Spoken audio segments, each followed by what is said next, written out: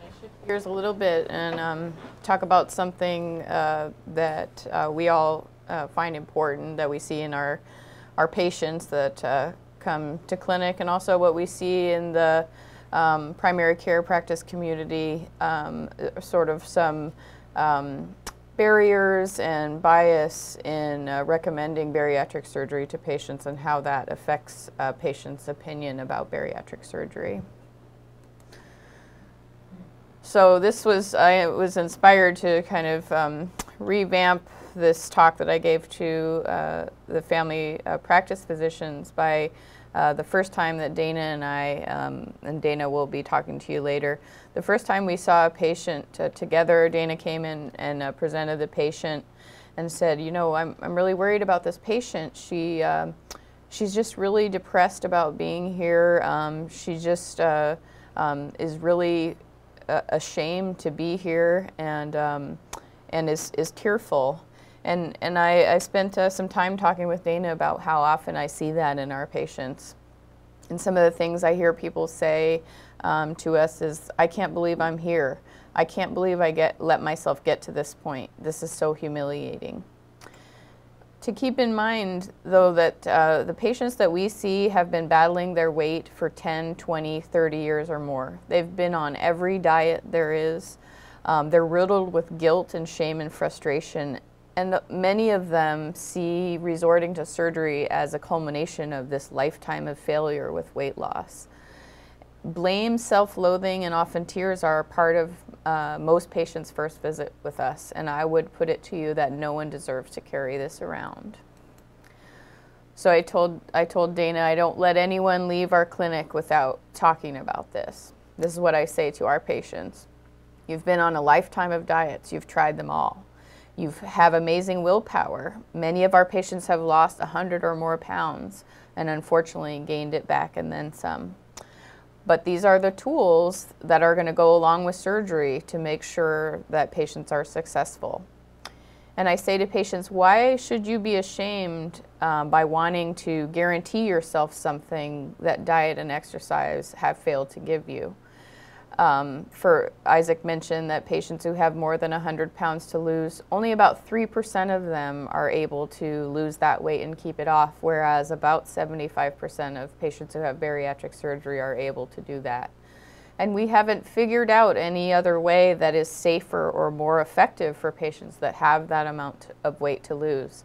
So in, in, um, in many ways, medicine hasn't figured it out yet. We, we have uh, one solution that we know works, and, and that's surgery. So why should you um, uh, be ashamed of giving yourself every chance to have a longer, healthier life?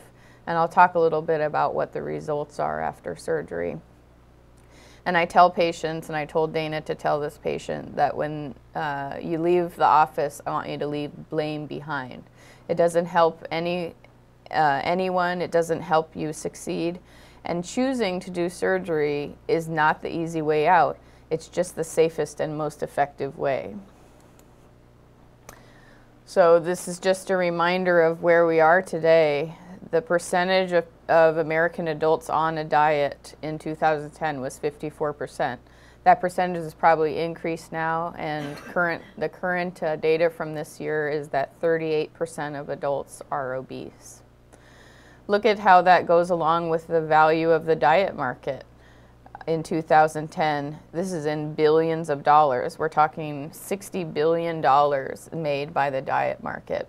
Something's wrong with this picture if 38% of adults are still obese. I would just want to go through some things uh, uh, that a lot of people might not know about uh, uh the risk of obesity versus the risk of surgery uh, Dr. Samuel talked to you about some of the um, uh, obesity-related uh, comorbidities here. Type 2 diabetes, very common in the patients we see, um, as is uh, hypertension, GERD, heart disease, sleep apnea. Annual obesity-associated mortality, uh, 112,000 excess deaths due to cardiovascular disease, 15,000 excess deaths due to cancer. A lot of people don't realize the relationship between cancer and obesity. 35,000 excess deaths due to non-cancer, non-cardiovascular disease related to obesity. Keep in mind here some of these statistics. Obese individuals have a 10 to 50% increased risk of death compared to individuals of a healthy weight. Let's talk a little bit about the cost. Direct obesity related healthcare spending, this is from 2013, costs $147 billion per year and represents 10% of medical spending. Loss of productivity isn't something that's um, talked about a lot, but uh, disability due to obesity is very costly to our economy. And obese individuals spend 40% more on their health care than individuals of normal weight. Let's look at the risk of surgery. We've seen some of the risk of obesity. The risk of death from bariatric surgery is about 0.1%. Well, we saw the risk of death from obesity is 10 to 50%. Overall likelihood of major complications is about 3%. And uh, we've already seen that the risk of living with morbid obesity far outweighs these risks of surgery. If you look at the, the cost of, uh, I put an example here of a lap laparoscopic Roux-en-Y gastric bypass um, is around twenty-five to thirty-five thousand dollars, most covered by insurance companies. Uh, this is pays for itself in two to four years' time by decreasing the amount of, of healthcare spending.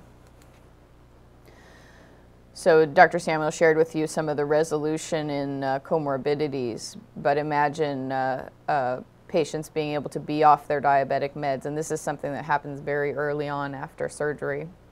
Uh, very good results with re resolving sleep apnea, and getting people off uh, CPAP, and, uh, and increased life expectancy. Uh, this is just a, a nice uh, observational study that's very simple to understand. It's a simple design. They, they divided people who were morbidly obese into a group that had surgery and a group that didn't have surgery, and they followed them for five years.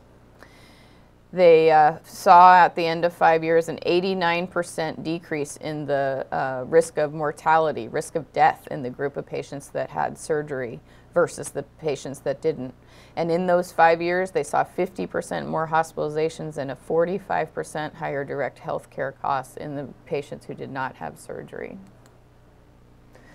And remember where um, where these categories come from and remember what the risks are of staying obese. For, for death uh, in the obese category, one, uh, men are 1.5 times more likely, men and women 1.5 times more li likely um, to die from their obesity, twice as likely to have um, heart disease that causes uh, um, heart attacks, one and a half times more likely to have stroke, five and a half and seven, and seven times more likely to have diabetes than patients of a normal weight.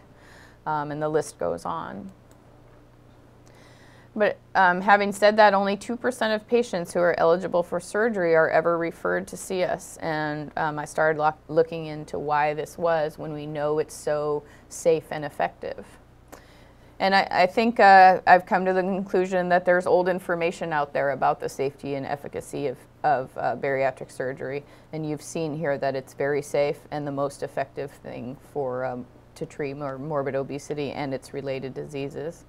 I think there's a continued bias, uh, not only in society, but also in medicine uh, towards patients who are obese.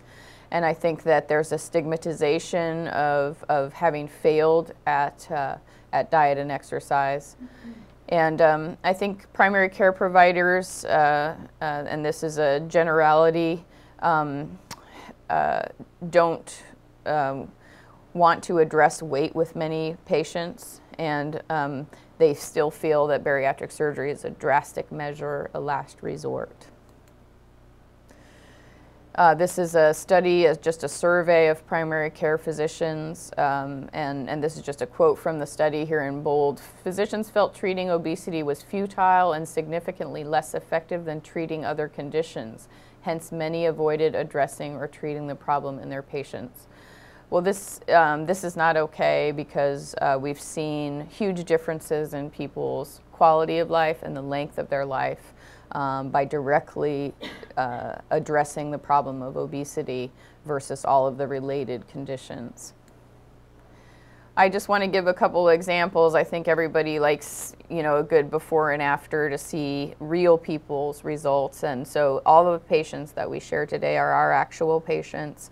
Uh, this was a patient of mine who came to us with very uh, difficult to control diabetes on a huge amount of, of, insulin and other medications. Her BMI was 46. She was on uh, home oxygen uh, for asthma um, and a variety of other medications. These are her six month results. She went from a BMI of 46 to a BMI of 32.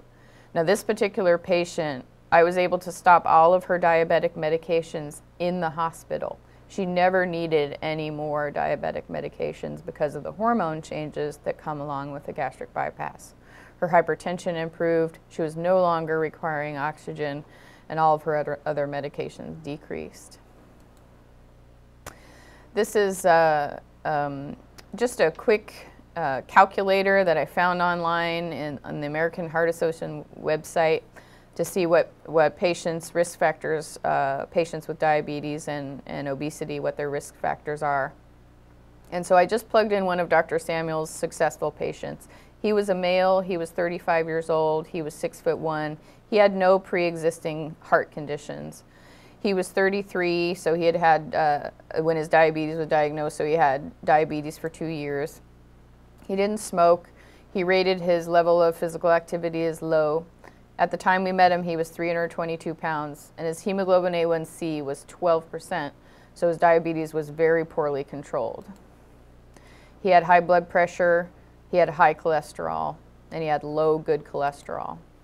I plugged his numbers into this calculator. These were his preoperative numbers, and it calculates a risk here. Risk of heart attack in this 35-year-old man was 70% uh, in a 10-year period.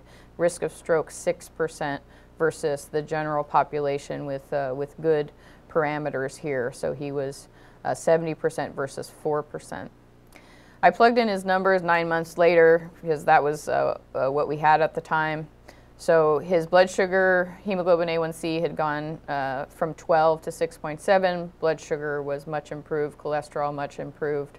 Look at his 10-year risk of heart attack went from 70 to 5%. Risk of stroke went from uh, 10 to 1%. So these are real patients, these are real results.